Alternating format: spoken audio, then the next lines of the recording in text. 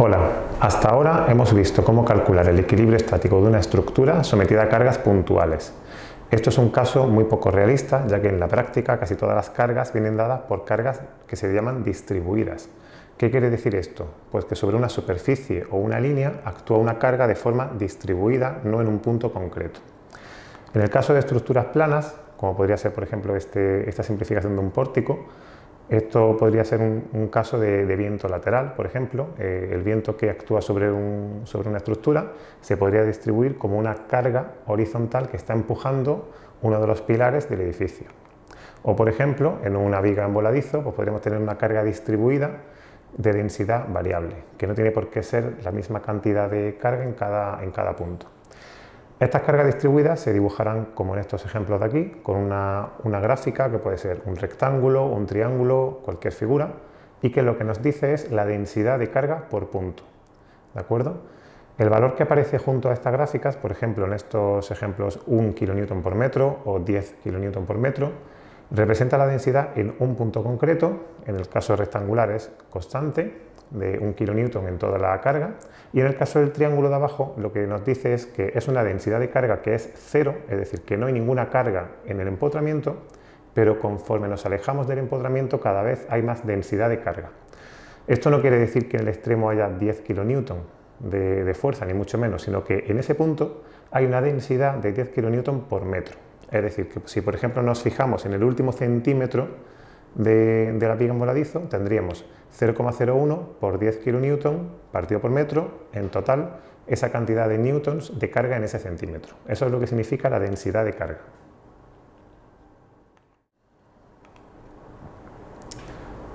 ¿Cómo afrontamos un problema que tenga cargas distribuidas? Bien, pues los pasos son como estos que vienen aquí.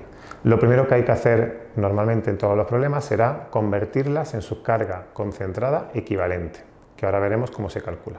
Utilizando esas cargas concentradas ya podemos calcular las ecuaciones de la estática de forma mucho más fácil y una vez que tenemos ya resuelto las reacciones o el problema hiperestático de lo que se trate, podemos volver otra vez a las cargas distribuidas originales.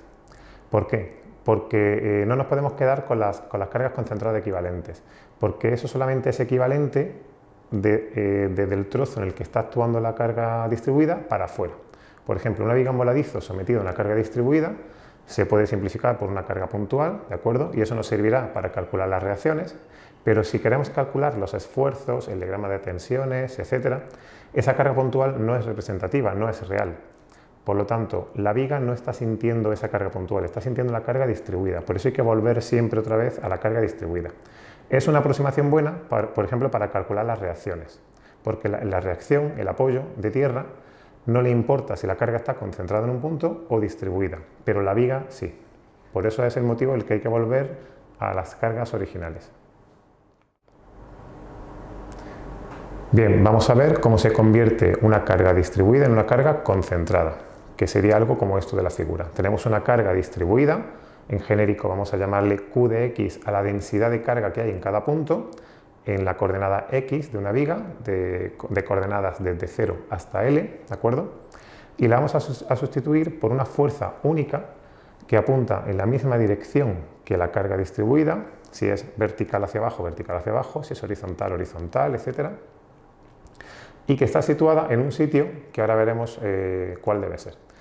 Entonces, la carga concentrada vamos a, vamos a llamarle F a su valor y X barra la media de x a la posición en la que la situaremos. Por lo tanto, lo que tenemos que hallar son estos dos valores, cuál es la fuerza equivalente, el módulo y su posición. La dirección, como digo, siempre va a ser la misma que la carga eh, original distribuida. Bien, pues se puede demostrar fácilmente que la, carga total que hay que colocar es simplemente el área de la integral de la carga distribuida. Esto es simplemente para que la carga puntual tenga el mismo efecto, la misma cantidad de kilonewton que la carga distribuida original. Y ahora, respecto a dónde colocarlo, pues eh, la fórmula es esta, vamos a demostrarla muy fácilmente. El lugar en el que hay que colocar la carga es aquel que provoque el mismo momento, el mismo par, que la fuerza distribuida original. ¿Esto cómo se, cómo se puede ver? Pues si tenemos una carga distribuida que le llamamos Q de X a su densidad y está actuando a lo largo de una viga en la dirección X, ¿de acuerdo? Tenemos que cada, cada segmento infinitesimal diferencial de X que esté situado a una distancia X del origen de coordenadas realiza eh, una, una diferencial de fuerza que es este área de aquí infinitesimal. ¿Este área cuánto vale? Pues la altura por el ancho de este rectángulo, que sería Q de X diferencial de X.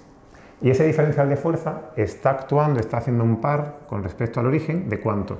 Pues de esa fuerza por esa distancia. Por lo tanto, el par que realiza es Q de X por diferencial de X multiplicado por X. Y eso sería el diferencial de par, que hace solamente este segmento. Si integro toda la carga desde cero hasta la longitud total que, en la que esté actuando, sería simplemente realizar la integral definida de, esa cantidad. Y esto sería el par, el momento que me hace. Quiero que eso sea equivalente a la fuerza distribuida que me hace, ah, perdón, al momento que me hace la carga concentrada. La carga concentrada me hace, como, como sabéis, un par de F por x, la fuerza por su distancia. Por lo tanto, si quiero despejar el valor de la, posición, simplemente paso dividiendo el valor de la f y me da la ecuación que tenéis aquí. Vamos a ver una serie de fórmulas típicas que recomiendo memorizar para poder resolver los problemas de forma sencilla para cargas distribuidas típicas. el primer caso sería la fórmula genérica, que siempre hay que tenerla presente en caso de que haga falta aplicarla, ¿de acuerdo? Que es la que hemos visto, la integral. Pero luego tenemos casos típicos, una carga rectangular o, densidad de carga uniforme, que tengamos una densidad Q a lo largo de una longitud L. Bien, pues su integral sería el área de un rectángulo, que es simplemente Q por L, y ese sería el valor de la fuerza equivalente a esa carga rectangular. ¿Dónde se coloca? en el centroide de la figura, que es el valor de la segunda integral que hemos visto, y que en este caso, por razones evidentes de simetría, sería en la mitad de la carga rectangular, en 1 partido por 2, L. Otro caso que aparece muy frecuentemente es el de una carga triangular. Una carga triangular que tenga longitud L, que empiece en 0, importante, y que acabe en L.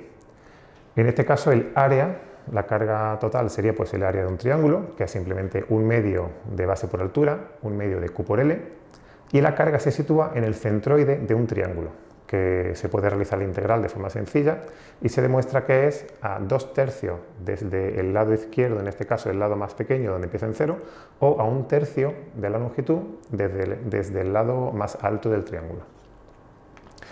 De forma equivalente, pues tenemos una carga parabólica que realizando las integrales nos da que, la carga total, el área, sería de un tercio de Q por L, llamándole Q al valor del pico, y la posición del centroide a un cuarto de la longitud.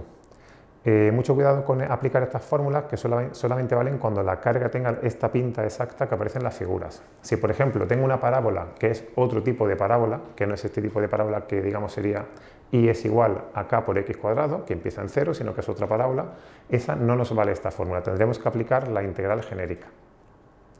Y el caso de triángulo lo mismo, tiene que ser un triángulo que empiece en cero y acabe en q. ¿Que tenemos otro tipo de figura? Pues podemos jugar a superponer, por ejemplo, un rectángulo y un triángulo, dos triángulos, etc. Siempre la integral podemos aplicarle la descomposición, la linealidad.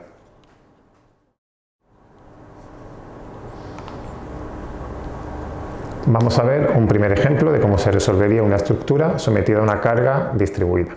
En este caso tenemos un pórtico isostático, podéis calcular que los grados de, grado de hiperestaticidad es de cero y tenemos una única carga eh, distribuida en el pilar izquierdo, ¿de acuerdo?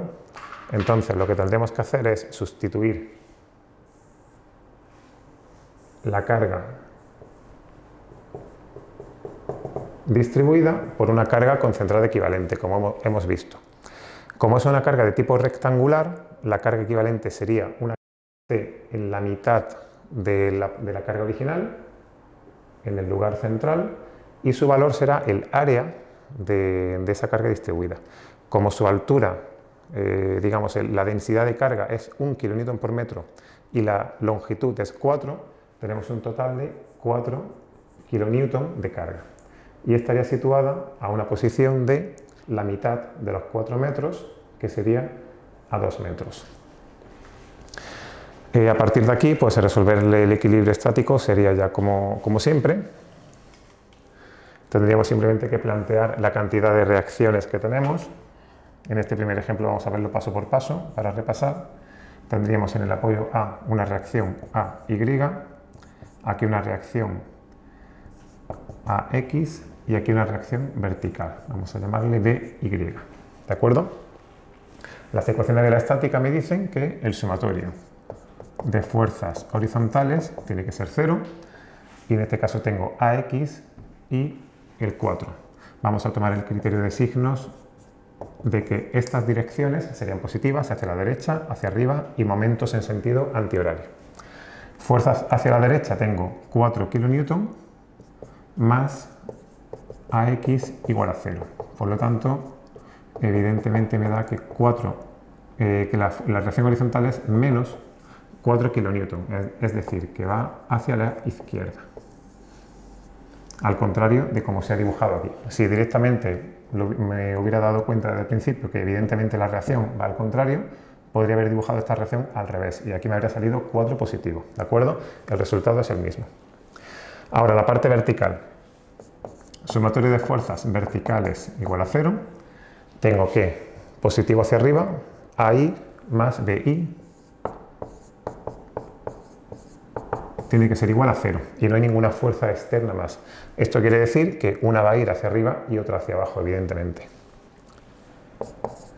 Y ahora tengo que aplicar el sumatorio de, los momentos que me hacen todas las fuerzas con respecto al eje Z que pase por un punto. Voy a coger el punto A porque es donde, es donde más fuerzas se cruzan y por lo tanto más sencillo va a ser. Y esto va a ser igual a estas dos fuerzas no me hacen ningún momento, la fuerza de 4 kN sí me hace un momento. ¿De qué tipo? Pues en sentido horario y línea de acción, distancia perpendicular hacia el punto, me sale 2 metros, por lo tanto es positivo, eh, no, perdón, negativo en el criterio que hemos tomado, sería menos 4 por 2 kN metro, ¿de acuerdo? Y la otra fuerza que me hace un par es la reacción en B que me hace un par de tipo positivo, línea de acción, línea perpendicular y esta sería la distancia, que en este caso, en este problema, era de,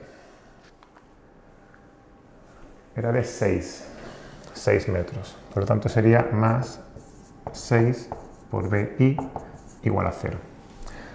Por lo tanto, obtengo que eh, la reacción B hacia arriba vale positivo 8 entre 6, lo que es lo mismo que 4 tercios de kilonewton. Y por lo tanto, utilizando la segunda ecuación de la estática, me sale que la reacción vertical en A es menos 4 tercios de kilonewton. ¿De acuerdo?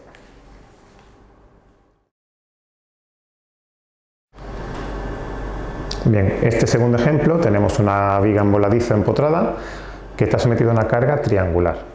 De nuevo, pues planteamos la estructura tal cual, con los mismos apoyos, y la carga distribuida la vamos a sustituir por una carga concentrada. Tenemos una carga triangular, por lo tanto, hay que colocar, como hemos visto antes, la carga concentrada equivalente a un tercio de la anchura de, de la viga desde el lado más alto de la carga.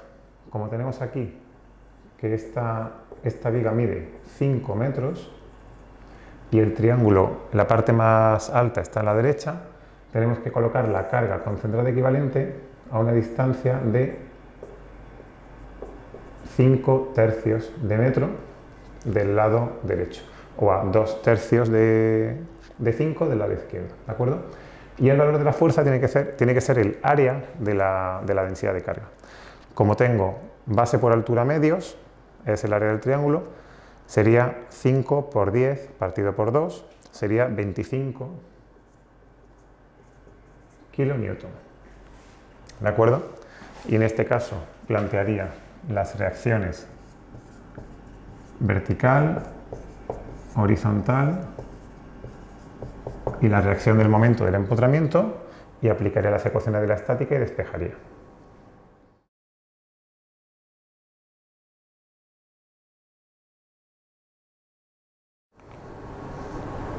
Vamos a ver un ejemplo de una carga distribuida sobre una barra que esté inclinada, ¿de acuerdo? Tampoco tiene mucha más complicación. Simplemente lo que hay que hacer es plantear la estructura, igual que siempre, la estructura original, y ahora la carga distribuida la sustituimos por una concentrada. Eh, es una carga de tipo rectangular, aunque no lo parezca. Es una carga de tipo rectangular, lo que pasa es que está apoyada sobre la barra inclinada, ¿de acuerdo? Eso quiere decir que la dirección de la carga tiene que ser la misma que la original, es decir, hacia abajo, vertical hacia abajo. El lugar de aplicación sería la mitad de, la, longitud horizontal en la que esté actuando la carga, es decir, si esta longitud era 2 por raíz de 3, tiene que estar actuando a la mitad exactamente, que sería una distancia de raíz de 3 metros de cualquiera de los dos lados. Y ahora, ¿cuánto sería su valor, el valor de la fuerza? Pues tiene que ser el área de ese rectángulo. Por lo tanto, necesito calcular la altura de la carga, ya la sé, de la densidad, son 5 kN por metro de densidad de carga. ¿Y en, qué distancia está actuando? Pues esto es lo importante, hay que medir la longitud de la barra. No la distancia horizontal ni vertical, sino es como está actuando sobre la barra, lo importante es esta longitud, ¿de acuerdo? En este caso concreto tenemos la cota aquí de 2 metros y horizontal de 2 raíz de 3, por lo tanto sería simplemente aplicar el teorema de Pitágoras para sacar esta longitud. La longitud al cuadrado sería 2 al cuadrado más 2 raíz de 3 al cuadrado, por lo tanto sería longitud, sería el 2 que se va fuera de la raíz y raíz de, de 4 me da un total de 4 metros, ¿de acuerdo? Por lo tanto, la longitud es 4, la densidad es 5, aquí tengo en total 20 kilonewton. Bien, vamos a ver otra variación del caso anterior, porque es importante distinguir estos pequeños detalles. En este caso, la carga distribuida se dibuja encima de la estructura, no se dibuja apoyada directamente sobre la barra, ¿de acuerdo? En este caso, eh, la carga es del mismo tipo, es una carga de densidad uniforme rectangular, que está actuando sobre la barra vertical, sobre la barra que está arriba de la estructura. La dirección es hacia abajo, pero la densidad es la misma incluso, pero lo que no es igual es el valor total de la carga. ¿Por qué? Porque ahora la hemos dibujado horizontal.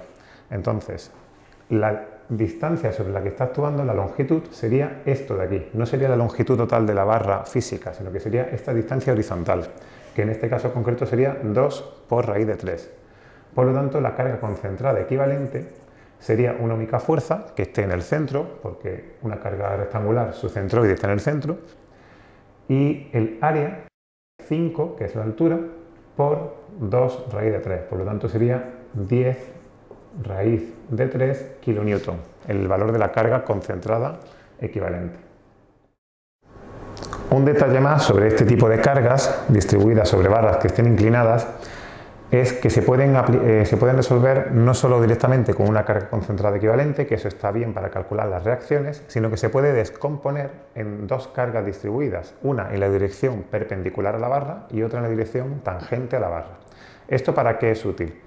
Pues bien, a la altura, en el momento de calcular reacciones, para nada. Eh, es más sencillo poner una única carga. Pero una vez que pasemos a temas posteriores y calculemos los diagramas de esfuerzos, ahí es muy importante distinguir entre la componente de una carga distribuida que va paralela a la barra y la que va perpendicular. Entonces, en este caso, por ejemplo, ¿cómo se haría? Habría que coger esta carga distribuida, ¿de acuerdo? Eh, y en primer lugar, lo que, lo que yo recomendaría sería convertirla en una carga que esté actuando directamente sobre la, sobre la barra, ¿de acuerdo? en algo así. ¿Vale? Entonces, eh, ¿qué diferencia hay? Pues la carga, como hemos visto con los dos ejemplos anteriores, ya no es la misma en, densidad de carga. Es decir, si, si, quiero que la carga total sea la misma, no puede valer lo mismo esta densidad, vamos a llamarle Q', que la carga original que yo tenía aquí arriba, que era de Q. ¿De acuerdo? ¿Por qué? Porque esta longitud de aquí no es la misma. Entonces, aquí tengo un ángulo alfa, en este caso concreto era 30, vamos a llamarle alfa en genérico, la relación que hay entre esta densidad y la otra es, que la carga total tiene que ser la misma, ¿de acuerdo? Entonces, si tengo Q por una longitud L, vamos a llamarle L a la longitud real de la barra, ¿de acuerdo? Tengo Q' por L es el valor total de esta carga, ¿de acuerdo? Eso quiero que sea igual a el valor de la carga de arriba. Pues igualo Q por esta longitud de aquí, que por trigonometría tiene que ser eh, L por el coseno del ángulo. ¿De acuerdo? Es decir, que este valor de Q', simplificando, me queda que es el original por el coseno. Este valor de esta densidad tiene que ser inferior, más pequeño, que aquel de ahí arriba. ¿Por qué? Porque está, está actuando sobre una longitud, una distancia más grande. Bien, eso sería el primer paso. Ya tengo esta carga actuando directamente sobre la barra, hacia abajo, en dirección vertical completamente, sobre una barra inclinada. Ahora, quiero convertir esa carga, como hemos dicho, en dos cargas. En una carga que esté actuando de forma perpendicular a la, a la viga y en otra que esté actuando de forma paralela. En este caso sería hacia abajo y a la izquierda. Bien. Esta densidad de carga vamos a llamarle Q normal y a esta Q tangencial. ¿Cómo puedo calcular estas dos densidades de carga? Pues simplemente por descomposición de fuerzas, de vectores. Me planteo el dibujo del diagrama de, fuerzas de Q', que sería una fuerza hacia abajo, aunque no sea una fuerza puntual, pero es una densidad de carga, pero puedo dibujar un diagrama de vectores de forma equivalente. Es como si fuera la, la carga que hubiera en un punto concreto, ¿de acuerdo? Entonces, esta carga puntual, esta carga final Q', tiene que ser igual a la suma de estas dos. Una fuerza que venga perpendicular a la barra, ¿de acuerdo? En dirección eh, de módulo, perdón, eh, Q normal, y otra que hace 90 grados con ella, que es Q tangencial. Bien, pues por similancia, eh, Analizando un poco los ángulos, aquí tengo que este ángulo es alfa, entonces perpendicular y perpendicular, este ángulo de aquí tiene que ser alfa también. Aquí tengo un triángulo rectángulo con los tres lados que son variables. Una de ellas sería el Q', este, este lado de aquí, la hipotenusa. Aquí tengo el alfa y, y, aquí tengo Qn y Qt. Entonces por trigonometría pues podría sacar lo que quiera. Por ejemplo, para sacar el Q normal ¿de acuerdo? Sería Q' por, como es el cateto adyacente, sería por coseno de alfa, ¿de acuerdo? Y la componente tangencial, el seno. Donde Q' es lo que habíamos calculado anteriormente, depende de la otra Q original de arriba. Como digo, todo esto a la hora de calcular reacciones no hace falta, pero será muy útil a la hora de calcular diagramas, ya que cada una de estas cargas distribuidas me dirá cómo van variando, ya lo veremos, el diagrama de esfuerzos cortantes y el diagrama de esfuerzo axil.